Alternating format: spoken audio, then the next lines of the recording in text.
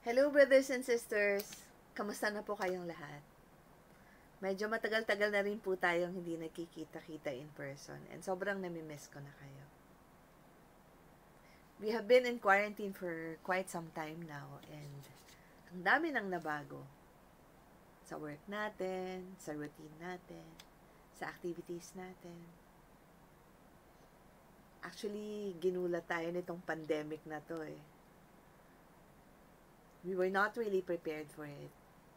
And today, slowly, we have been adjusting to what we call as the new normal. Ako, honestly, ah, I never thought na yung prayer meeting natin will go online. Pero sabi nga nila, this is the new normal. That's why we have to praise and thank the Lord for the gift of technology. Because of internet, we're able to be connected. Sabi nga nila, though we are apart we are together. So we are apart together. And we have to praise and thank the Lord for allowing us to praise and worship Him as one. Amen? Pwede bang ngitian niyo yung katabi niyo? O sige, kung wala kayong katabi, ngitian niyo si Lord. Kasi I'm sure si Lord nakangiti sa inyo ngayong gabi. Amen. So before we begin, brothers and sisters, let me welcome you to our Acts online prayer meeting. Alam nyo ba, isa sa magandang nagawa ng quarantine na ito sa atin, marami sa atin naging mas prayerful. Dumami yung oras natin to pray, to hear mass, to listen to talks online. And natutuwa ako kasi nung nag-umpisa pa lang yung quarantine, na-discover din namin na hindi lang pala kami mga worship leaders ang pwede mag-lead ng worship sa ating community. Kasi when Sister Lou started asking for volunteers for our communal worship, ang daming nag-yes. Nakakatuwa kasi iba-iba ng style, iba-iba ng inspiration. But one thing is common, that we all just want to worship God. And the Sister Luz mentioned, although nag-stop na siya mag-assign last May 15, please feel free pa rin to volunteer para ma-post namin yung worship niyo sa FB page natin or sa thread natin ng mga leaders. So please, volunteer po kayo. Okay po ba yon? Tonight we will begin with our worship followed by a talk by one of our in-house speakers. We are ending our series on the book of Psalms, the language of prayer. Sabi nga ni Father Domi, the book of Psalms is the book of prayers. Something that we need, something that we can use. Anytime, every time, all the time. And yung naging objective ng ating series is for us to be able to learn how to pray through the book of Psalms. Tonight, yung topic natin is about Psalm 23. And I'm sure most of us, if not all of us, alam na alam natin tong Psalm 23. The Lord is my shepherd. I shall not want. This is a very beautiful chapter that we need to know by heart kasi magagamit natin to, lalong-lalo na sa mga panahon ngayon. At yan ang tatalakayin ng ating in-house speaker. So, please, you have to stay till the end. Okay? Okay ba yan? Tonight, I'm very excited to worship with you. And I'm sure kayo din, you are excited to worship God. Amen? Alam niyo, totoo ha, ang daming uncertainty sa paligid natin ngayon habang tumatagal yung quarantine na to. Lalong dumadami yung tanong natin. Ano na bang mangyayari? Kailan na ba matatapos to? Pero alam niyo, kahit na hindi natin kayang sagutin yung mga tanong na yan, kailangan kalma lang tayo. Dahil alam natin na si Lord, sagot niya tayong lahat. Amen? Do you believe that? Kahit anong mangyari, we will still have thousands of reasons to worship God. Amen? And so let us begin to worship Him by declaring His goodness. Because He is greater than any pandemic, He is stronger than any pressures in our lives. Together we will declare that He is not just any ordinary God, but He is our God. Together, let's sing this song.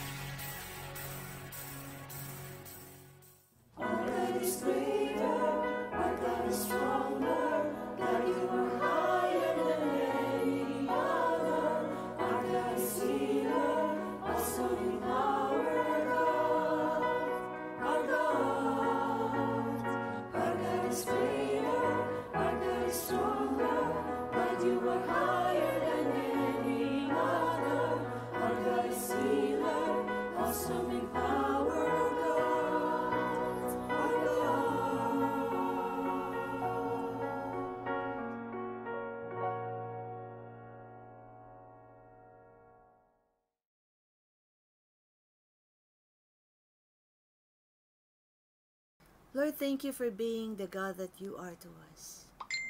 Thank you, Jesus. Thank you, Father. And as we were singing, Our God is greater, our God is stronger, Our God is higher. Lord, you are greater than any of our dreams.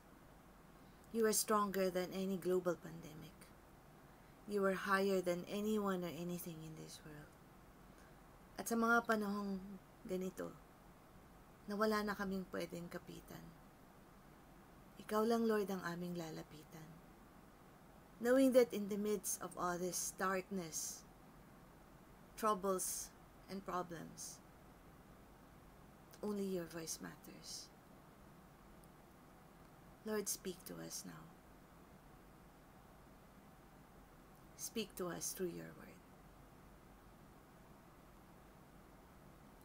Brothers and sisters, allow me to read to you Psalm 54, verse 4 and verse 6. Surely God is my help. The Lord is the one who sustains me. I will sacrifice a free will offering to you. I will praise your name, Lord, for it is good. Basahin ko lang po ulit. Surely God is my help. The Lord is the one who sustains me. I will sacrifice a free will offering to you. I will praise your name, Lord, for it is good. Ang ganda po ng reading natin tonight, no? Maikli lang siya pero punong-puno siya ng pag-asa, punong-puno siya ng pangako. Bigyan ko lang po kayo ng konting background dun sa reading natin. Ito yung time na si King Saul, sobrang inggit na inggit siya kay David. Kasi during the time si David, nagiging popular siya. So si King Saul, gustong-gusto niya ipapatay si David. So kahit saan pumunta si David, pinapahanap niya. Kahit saan magtago si David, pinapahanap niya. Kasi gusto niya talaga patayin si David. Siguro kung sa atin po yun, alam natin eh, may gustong-gustong pumatay sa atin. Sobrang stress na tayo, sobrang takot na takot na tayo. Pero hindi ganun yung nangyari kay David. It did not let him down. But instead, he wrote this, itong Psalm 54, that talks about God's faithfulness to him. Sabi niya nga, God is my help. God is the one who sustains me. Yung reading natin, nire-remind po tayo na God is our helper. That even in the midst of the most difficult times, pressure man yan sa work, unpaid bills man yan na patong ng patong ng patong, medical issues man yan, we can declare that God is our helper. And knowing this, just like David, we can happily respond to God. Sabi nga dun sa verse 6, I will praise your name, Lord, for it is good. Alam nyo, when we start thinking of our experiences with God, we realized how good He really is.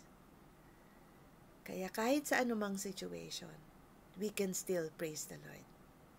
Dahil sa totoo lang, praise brings healing. Praise brings peace. Praise brings so much joy. Kaya ang sarap-sarap magpuri sa ating Panginoon. Today, we, as we continue to praise God, I want you to remember all the things that He has done for you.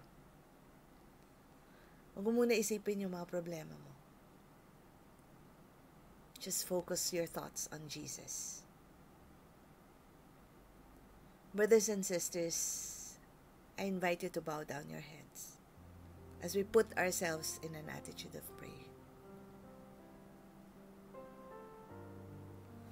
Father, the Son, and the Holy Spirit. Amen. Father God, thank you. Thank you kasi even in the midst of this pandemic, you were with us. Sa totoo lang, marami sa amin nanghihina na. Gusto nang mag-give up. Kasi habang tumatagal tong pandemic na to, dumadami lalo yung mga tanong namin. Mga tanong na mahirap sagutin. Mga tanong na hindi namin kayang sagutin. Tumitindi yung mga kaba ng dibdib namin. Tumitindi yung worries namin. But thank you, Lord, because you are constantly reminding us of who you are to us. That you are our very present help in time of need, our fortress, our security, our joy, our peace, our light in darkness, our hope. Tonight, Lord, we want to rest in you. Allow us to rest in your green pastures. Sa mga panahong iniisip namin na wala nang pupuntahan yung mga dasal namin, paalala mo sa amin, Lord, ng paulit-ulit na ikaw ang aming mabuting pastol at hindi hindi mo kami pababayaan. And you will give us the rest that we have been longing for. The rest that we need. The rest that only you can give.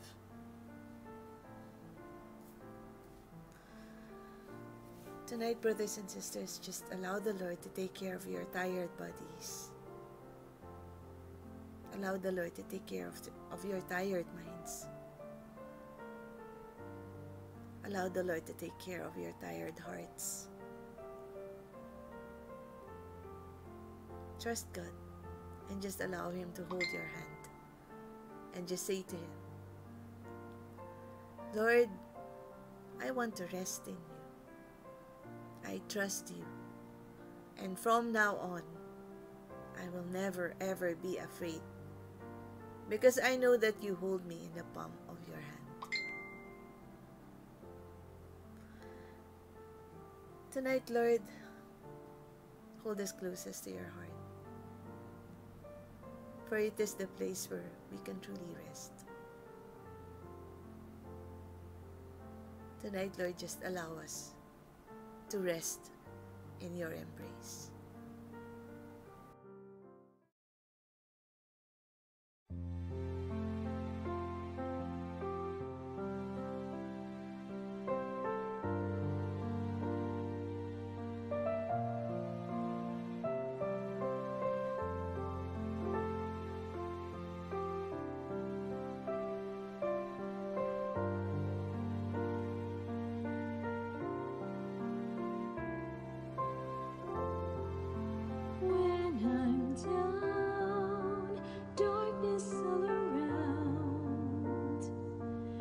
could see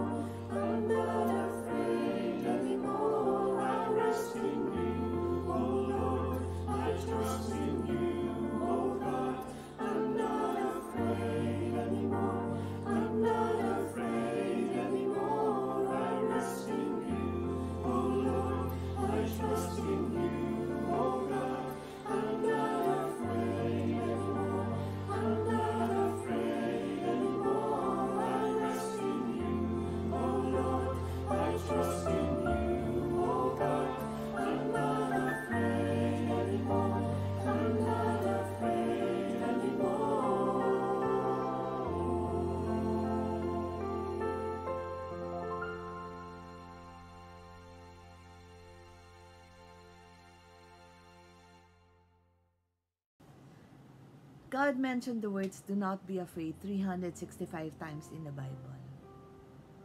Why 365?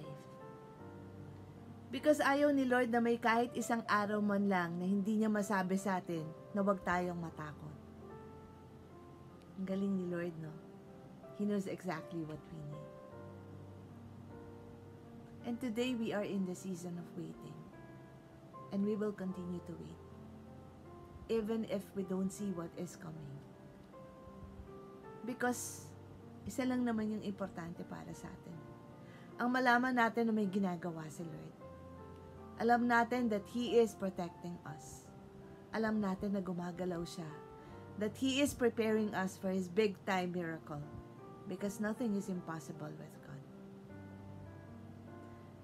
And today, we choose to surrender our worries, our anxieties, our problems. Kapatid, ano man yung nawala sa iyo ngayon, trabaho mo man yan, negosyo mo man, relasyon mo man yan sa pamilya mo. Lahat yan, kayang ibalik sa iyo ni Lord.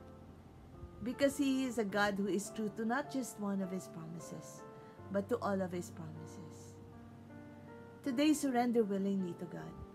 Yung panghihina ng loob mo, yung pagod mo, yung kawalan mo ng pag-asa.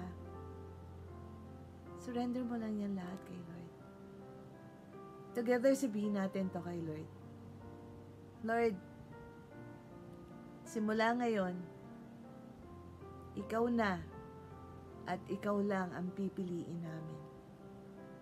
Lord, alam namin na walang imposible sa iyo. At walang kahit na anumang problema na hindi mo kayang bigyan ng solusyon. Alam namin, Lord, na itong COVID virus na to, COVID lang yan.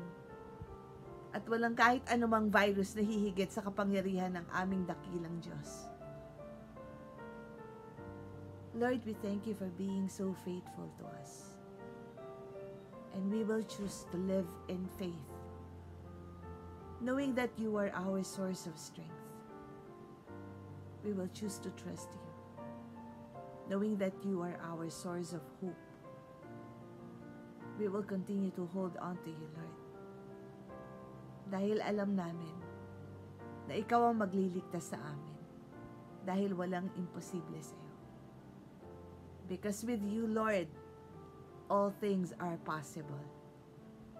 And together we declare, with you, Lord, all things are possible.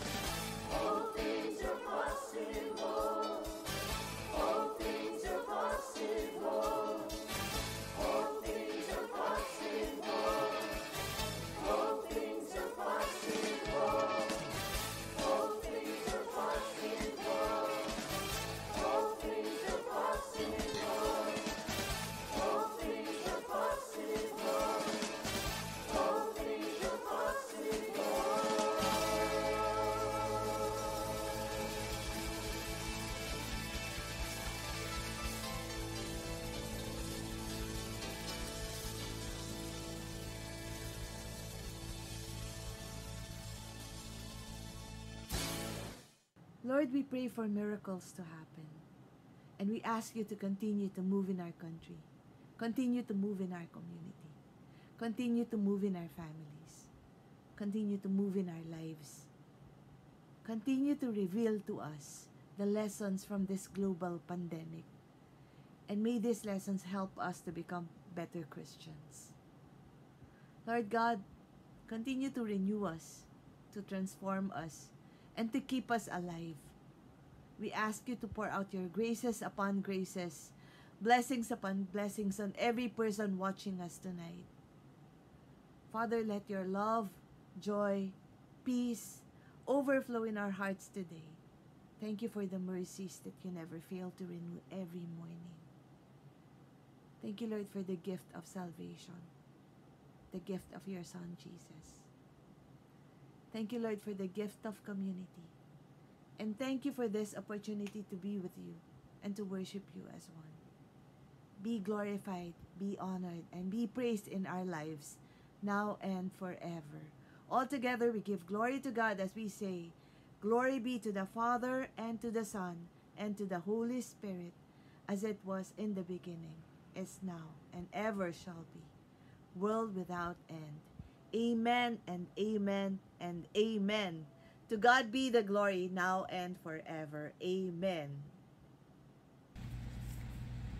We give the Lord a clap of praise for the gift of tonight's worship and also for the gift of Sister Nancy Reyes who led us into beautiful worship. Thank you, Lord.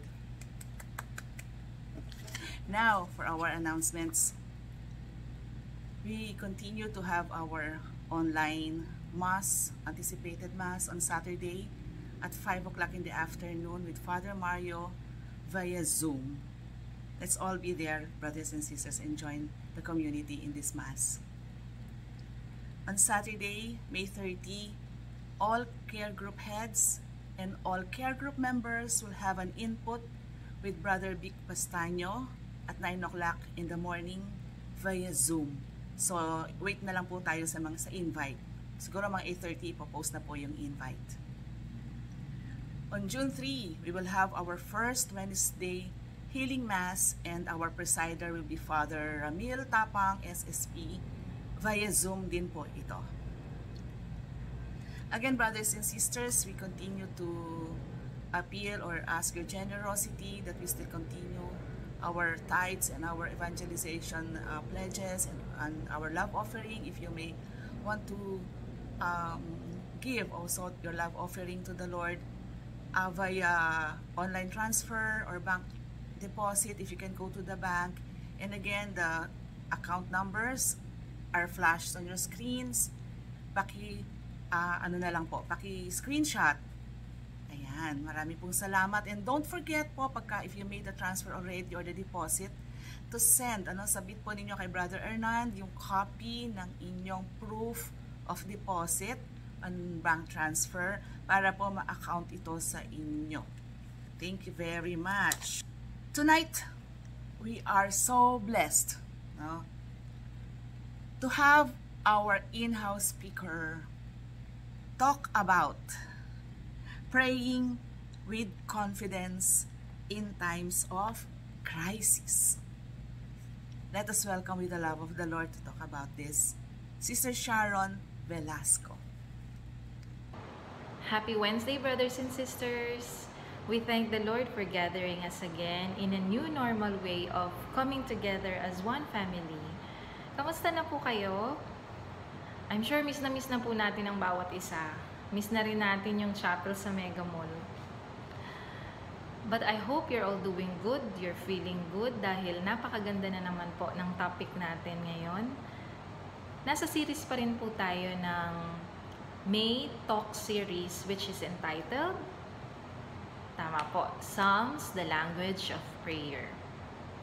May nakapagsabi po sa akin before if you want to develop your habit of reading the Bible, start with the Psalms. Nakakapagbasa ka na ng scripture, nakakapagdasal ka pa. And that's true.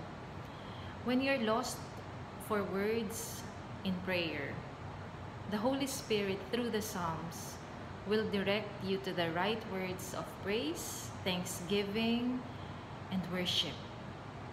Meron din pong mga psalms for lamentation, for sorrows, for penitentials, and meron din pong for comfort, for trust, and protection. At isa po dyan ay ang most famous, most quoted, and all-time favorite na psalm. Yun ay ang Psalm 23. Ayan. I, I would like to invite you, brothers and sisters, to pray with me this psalm. The Lord is my shepherd. I shall not want. He makes me to lie down in green pastures. He leads me beside the still waters. He restores my soul.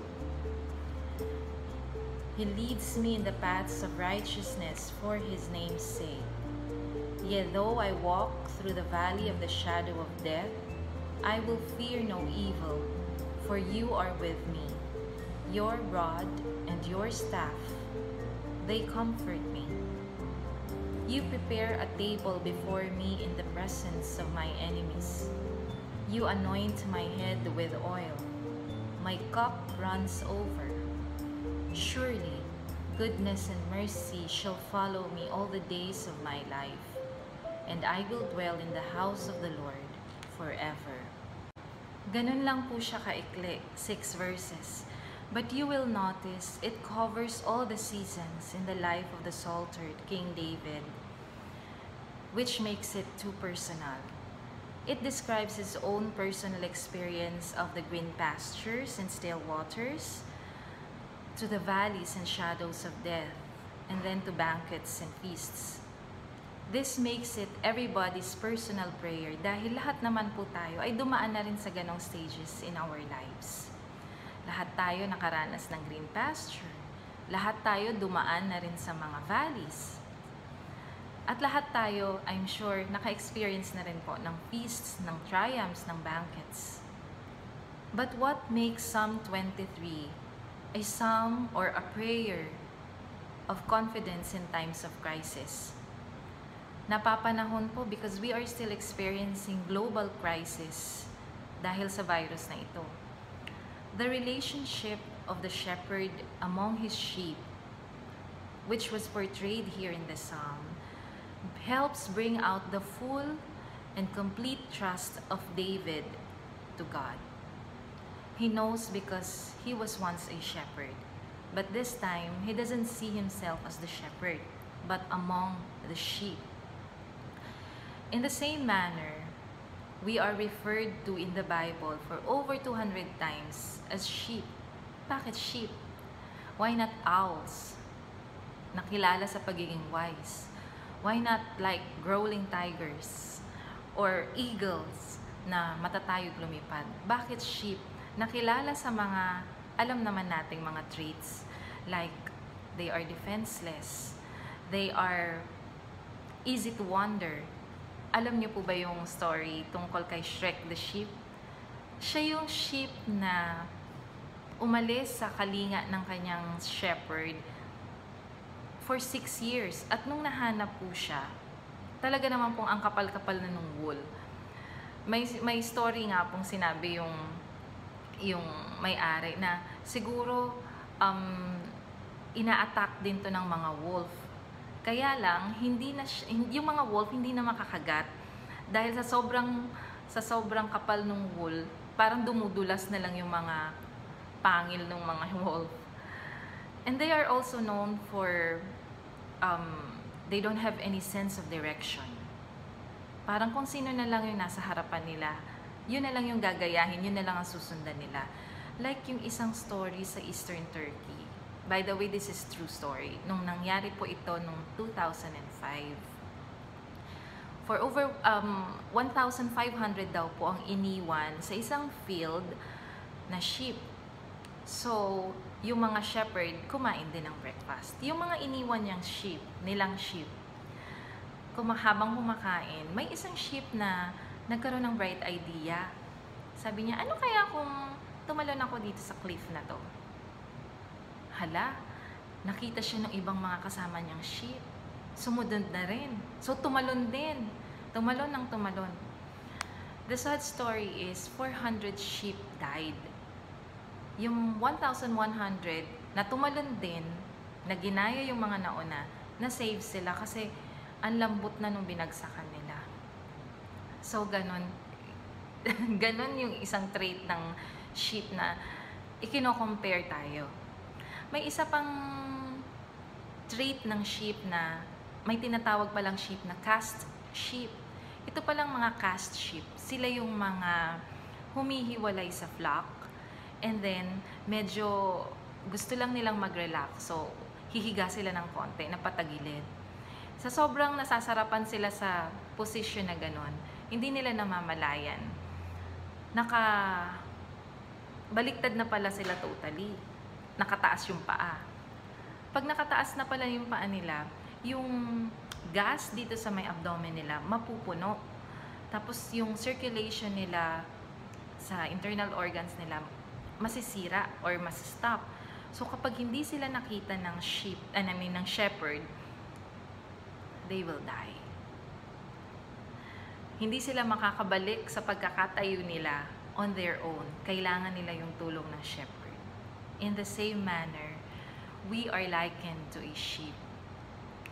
At isa pa pong trait ng sheep is hindi pala sila pwedeng magbuhat ng kung ano-ano sa likod nila. May nakita na po ba kayong nagbubuhat ng kung ano-ano na sheep?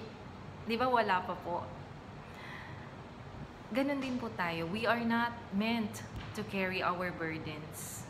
We are to give our burdens to God so He can carry it for us.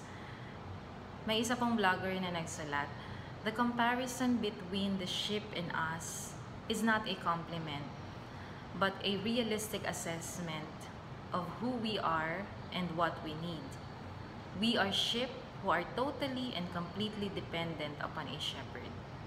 And to say that God is our shepherd is to humble ourselves, admitting what is true about us, and to elevate God, declaring what is true about Him. And what is true about God? In John 10:14, Jesus reveals himself as the good shepherd. And in Isaiah 40, it says, He shall feed his flock like a shepherd. He shall gather the lambs with his arm.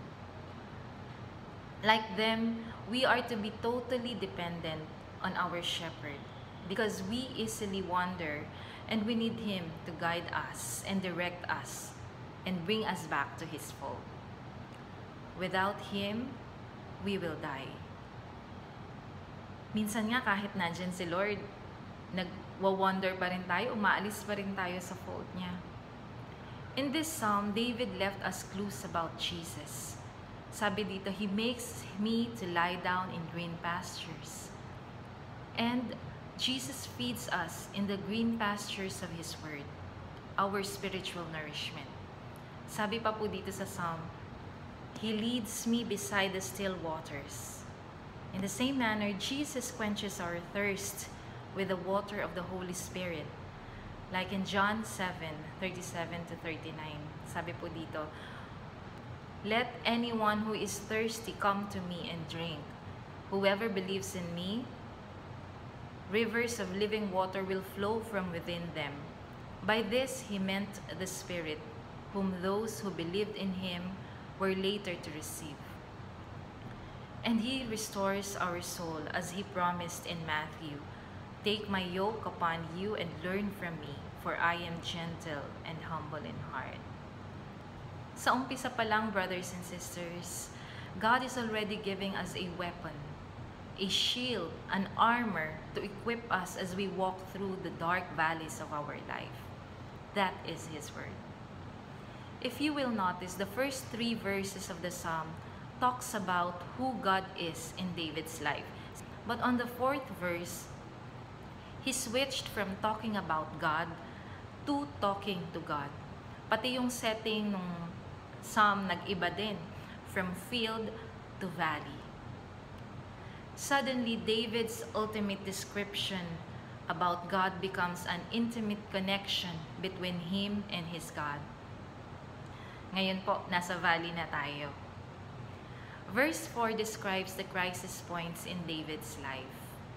At wala siyang ibang kinausap kundi ang Diyos. Sabi niya, For you are with me. Your rod and your staff, they comfort me. Ikaw, Panginoon, ikaw lang, ikaw lang ang kasama.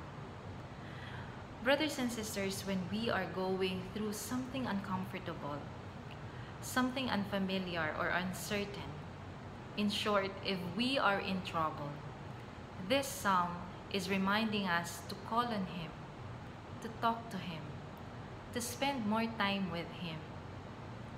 And for sure, marami pong makaka-relate dahil He allowed us to walk through the valley of this pandemic at marami sa mga anak niya ang talaga naman pong lumapit sa Kanya. Ang crisis sometimes blessing in disguise. Naniniwala po kayo. In a ship's point of view, ayaw nilang, kung maaari, ayaw nilang dumaan sa valleys.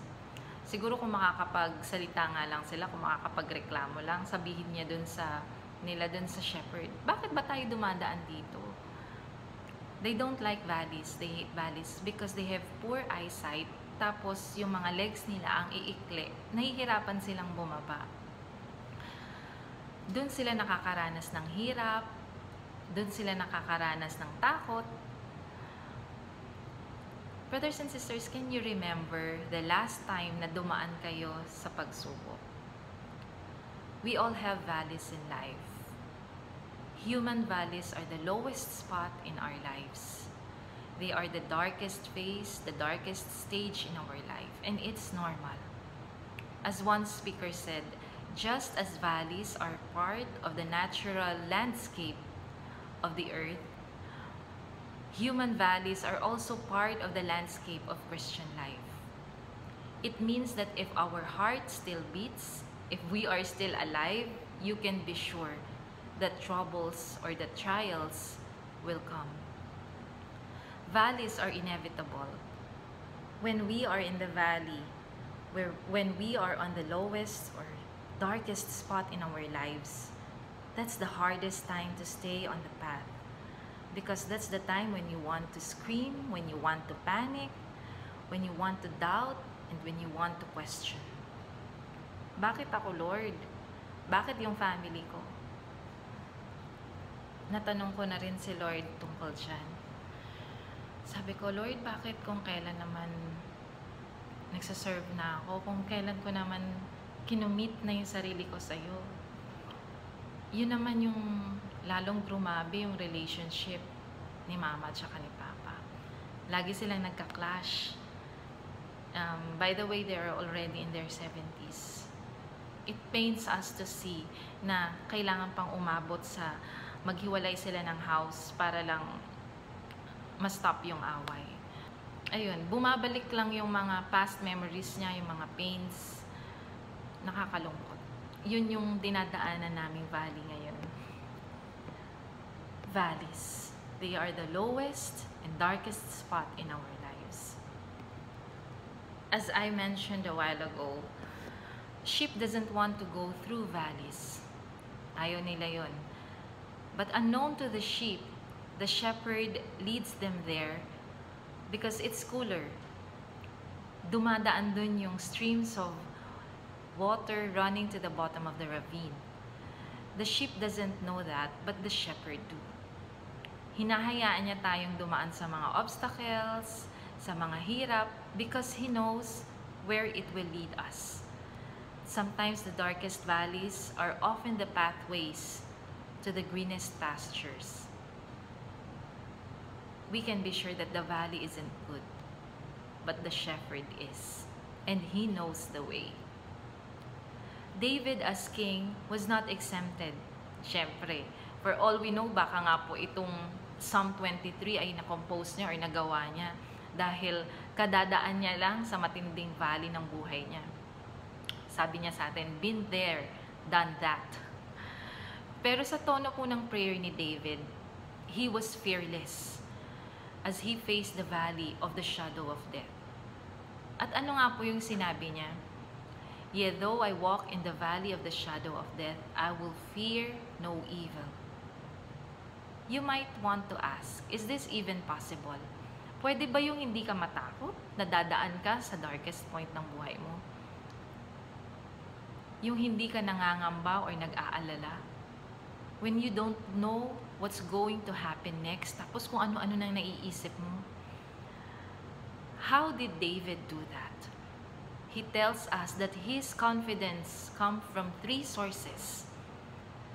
Kung saan siya humugot ng confidence, ng lakas ng loob to face his valley fearlessly. In the fourth verse, David speaks the nearness of God, His presence. Alam niyo po, nung bata po ako, uso pa po yung mga old songs, ganyan. At meron po akong isang favorite, yung kanta po ni Frank Sinatra. Sabi po doon, It's not the pale moon that excites me, that thrills and delights me. Oh no, it's just the nearness of you. Nakinanta rin po ni Nora Jones. Maganda rin po yung version niya. Ayun, malaking bagay po yung naidudulot nang meron kang kasama. Yung presence lang ng nagmamahal sa'yo at yung minamahal mo ay malaking bagay na.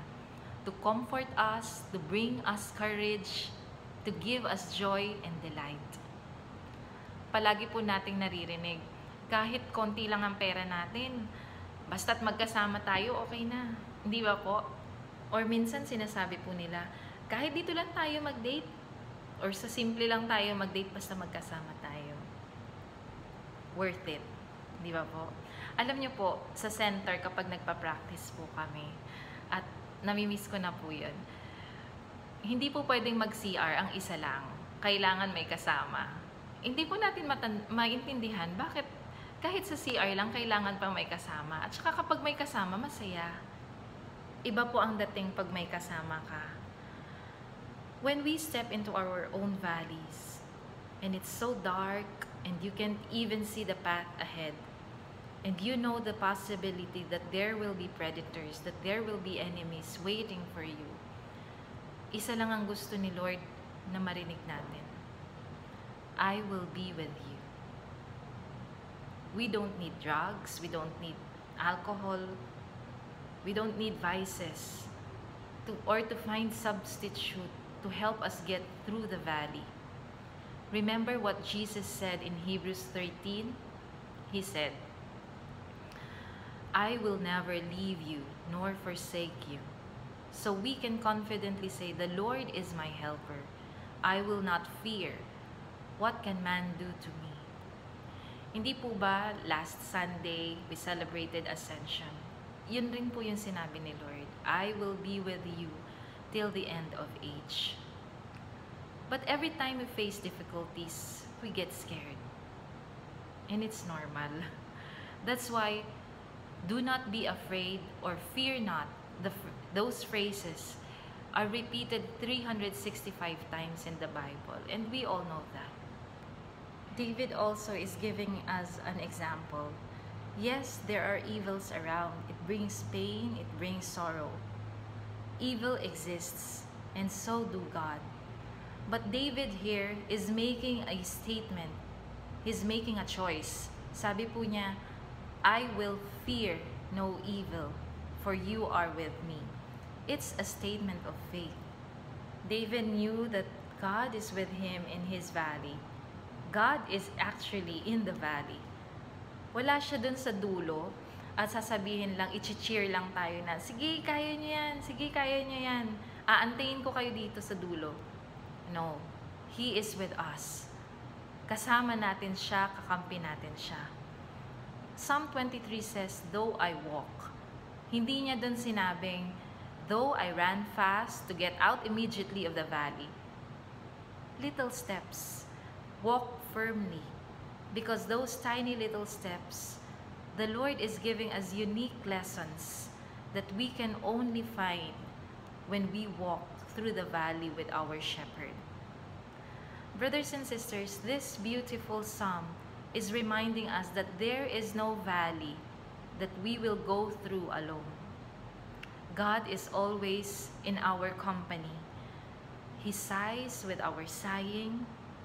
He enters into our pain, not just to feel sorry for us, but to restore us. So the presence of God makes David confident to face his fears, to face his valleys.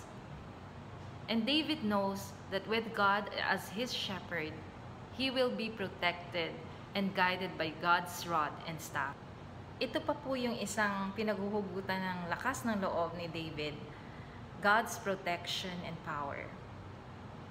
He said, Your rod and your staff, they comfort me. Sabi nila, nakakapanatag daw ng loob para sa mga tupa na makita yung shepherd nila na may daladalang staff. As we mentioned earlier po, sheep doesn't want to go through the valley because it's dangerous. They know that there are predators and enemies who will attack them. Nag-aantay lang ng timing, ng proper timing tong mga kaaway na to.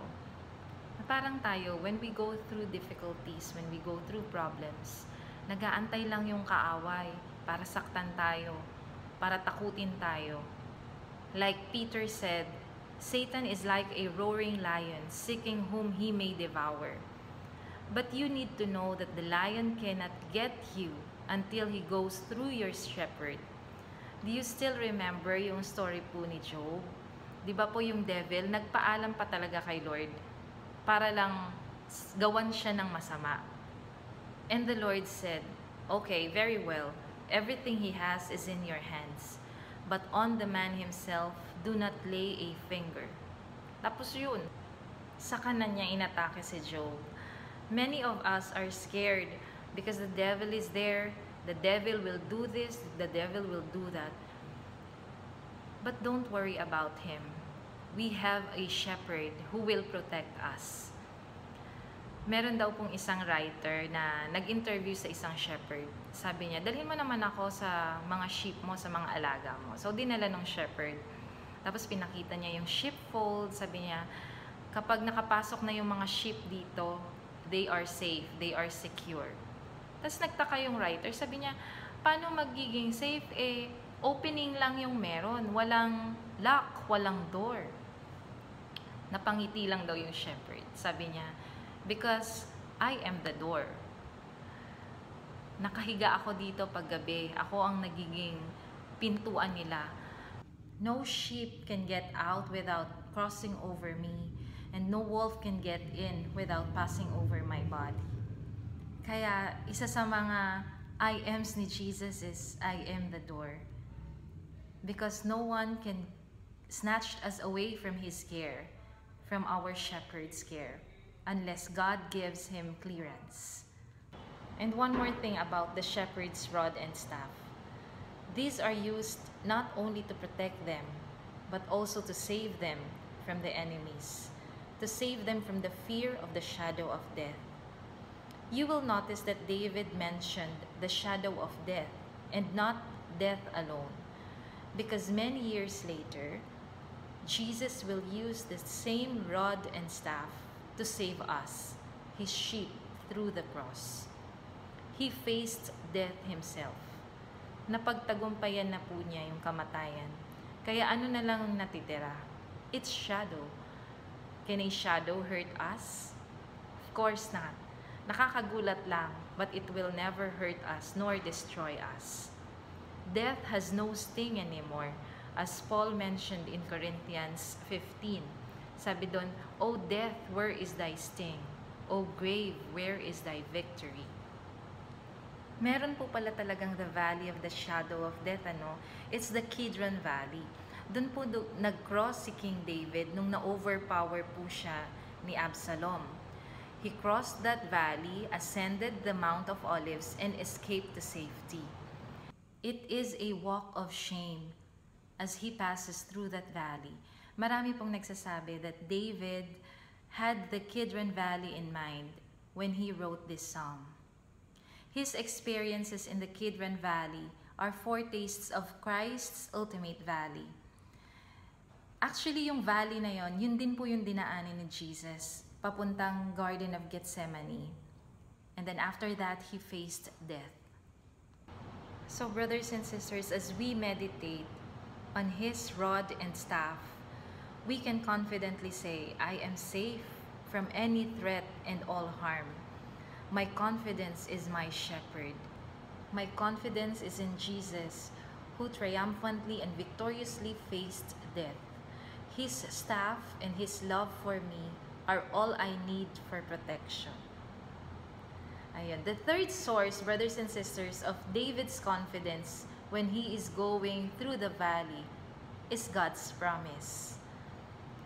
When again he declares, Surely goodness and mercy shall follow me all the days of my life, and I will dwell in the house of the Lord forever. It is a declaration of what is going to happen based on what he has just experienced. That has been the track record. Marami po tayong naririnig. Naku, wag mo nang pagkatiwalaan yan. Palagi ako niyang niloloko.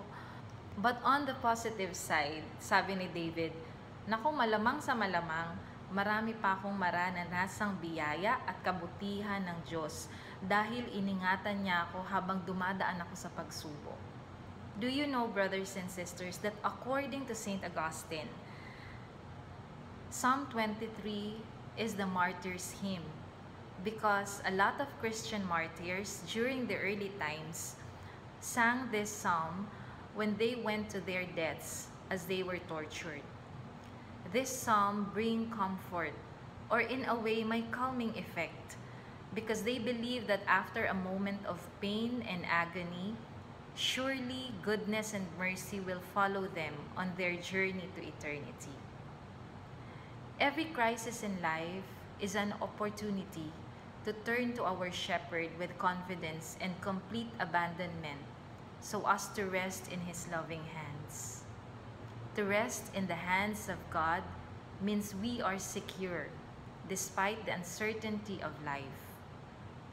It means we raise our eyes to the Good Shepherd, our protector, rather than look down in fear. Remember, brothers and sisters, hindi lang tayo basta sheep. We are His dear ones, whom He knows by name, whom He knows intimately and in a personal level. Brothers and sisters, may this psalm help us to pray with confidence, especially during these times of crisis. And like David, hugutin natin yung lakas ng loob na lumapit kay Lord because He will surely be with us in those dark moments. He will protect us, and He promised us that goodness and mercy will chase us all the days of our life. Di natin alam kung gaano pa po tatagal itong pandemic na ito. But one thing's for sure, God is with us.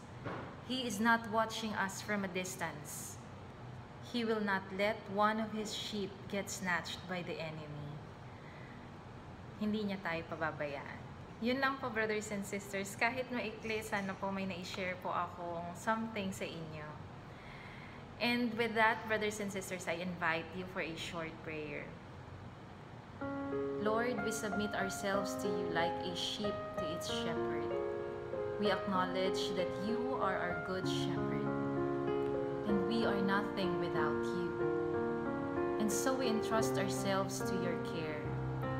Kung inyo pong mamarapatin, Panginoon, accept our brokenness, our valleys, the crisis we're into, and calm our fears with your presence, protection, and promise. Guide us with your rod and staff that we may always come to you confidently in prayer. In Jesus' name we pray. Amen and amen. Glory be to the Father, and to the Son, and to the Holy Spirit, as it was in the beginning, is now, and ever shall be, world without end. Amen. So long po. Sana po magkita-kita na po tayo. Bye-bye po. Wow! Wow! At wow pa! Let's give the Lord a clap offering for the gift of Sister Sharon tonight.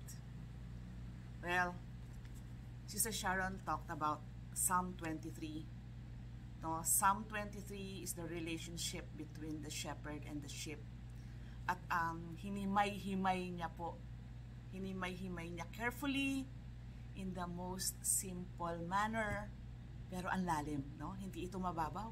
Ang lalim po ng uh, ng lahat ng uh, paliwanag ni Sister Sharon, complete with illustration, with her experience.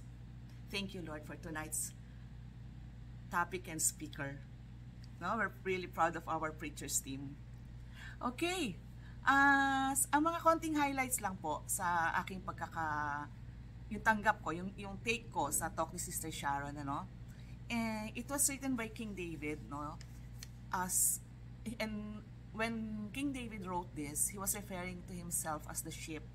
Although siya po ay naging isang shepherd. Pero by this time, siya po ay isang tupa na nagtitiwala lamang sa iisang Diyos as His good shepherd. And it is interesting to know that more than 200 times pala po na na-mention sa Bible referring to us as uh, Jesus as beloved people as sheep, as a sheep, no? Bakit po kaya sheep? Kasi daw ang sheep ay defenseless, uh, easy to wander, gala ng gala, tapos there's no sense of direction. And um, para po mga tao, no, unless merong mag-guide talaga ay mawawala tayo sa tamang direksyon. At ang mga tupa daw po ay they cannot carry anything, hindi sila pwede magpasa, no, anything on their back at yan po ay parang may ano din sa tao, sa atin, ay may maikukumpara din na hindi rin po tayo dapat magpapasa ng kahit anong burden sa ating at our backs because the Lord told us and he says this in, the, in his word that uh, come to me all of you who are tired. Those who are heavily burdened then I will give you rest for my yoke is easy and my burden is light. So kamukha po ng tupa we all, have to surrender everything to God, um, give it to God so He carries it for us, no? And we and the sheep are alike that we totally are dependent on Jesus, our good shepherd. Amen. Um, the good shepherd, the shepherd gives us green pastures, no? Which is the feed, which is feeding us with His word as our spiritual nourishment, and um, He leads us to still waters also uh, Jesus being um, our water or the water of the Holy Spirit, which the which Jesus gives us to quench our thirst. Uh, he also talks about the valley, no? Yung valley po na um, on verse 4 ay binibigay ni David kay, kay Lord ang kanyang valley. You know, offer niya yung kanyang mga krisis sa buhay, yung kanyang pinagdadaanan. So we're talking here of our crisis points in our lives, no?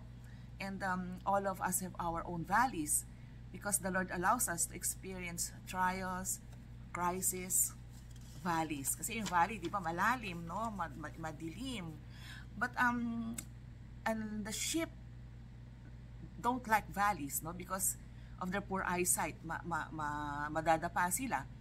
Um, yung valley ay lambak, no, sa Tagalog. Hindi patag, nakalubog. And these are the lowest points in our lives the darkest ones, and you don't want to stay there. But the shepherd leads the sheep to the valley because it's cooler there. Sabi po ni Sister Sharon, mas maginawa doon. And the same with Jesus, He allows us to be in the valley because they are often the pathway to greenest, to the greenest pastures. Wow, bago ka daw po makapunta sa green pasture, dadaan ka muna talaga sa valley, no? David is writing this psalm um, and he expresses his confidence in God. At um, saan daw po siya kumuha ng confidence? Sobrang confidence ni, ni, ni David kay, kay, kay Jesus as the shepherd. No, number one, he, it is the confidence of Jesus because of God's presence. The nearness of God. Oh, kinanta pa nga ni Sister Sharon, the nearness of you. No? It's always comforting to know that you are always with somebody who cares for you. And um, it is the Lord's promise, I will be with you until the end of age. And um, through our valleys po, pag nag-traverse tayo sa ating valleys, He will be with us and will bring us to greener pasture. Amen? Number two, why David is so confident? Because of God's protection and power. Sabi niya, your rod and your staff, they comfort me. Yung staff pala, no, makes the sheep kampante. Kasi yun po yung pantaboy sa mga devourer. No? And Jesus, Jesus' rod and staff pertaining to the cross saved us from the shadow of death. Beautiful. Number three, the third confidence of David is because of God's promises. After passing through the valley with Jesus, surely it will bring us comfort, and goodness will follow you, and we dwell in the house of the Lord to eternity. Oh, we are not just like his sheep. We are very dear to Jesus. We are very dear to the Lord, who knows us by name, intimately, personally. And this is enough assurance for us. May we hold on to the psalm no, during this time as we traverse our own valleys, this crisis, this pandemic. Let us put our confidence in God like David, knowing that Jesus, our good shepherd, will always be with us. Huh? Tonight, brothers and sisters, also ends our um, topics, our theme for the month of May, which is the Psalms, the language of prayer. Uh, Father Domi talked about Psalm 130 no? as the, um, ito daw po ay penitential psalm. Ang ganda rin ang explanation ni Father Domi dito sa Psalm 130 pwede po nating balik-balikan kasi naka-record yung talk natin. Ito din po yung maganda no, sa online. Pwede nating balik-balikan yung mga talks at ipagtagni-tagni natin. Okay, last Wednesday naman po, Brother Mike Ibiernas talked about Psalm 21, which is the Psalm of Protection. Ganda rito, marami may favorite sa atin dito sa Psalm 91. In the beginning of our um, online communal worship, lagi natin itong dinadasal. Tonight naman po, yan, Jesus as the Good Shepherd. You might um you can you might remember nung ating worship night, ito rin po yung naging key verse natin.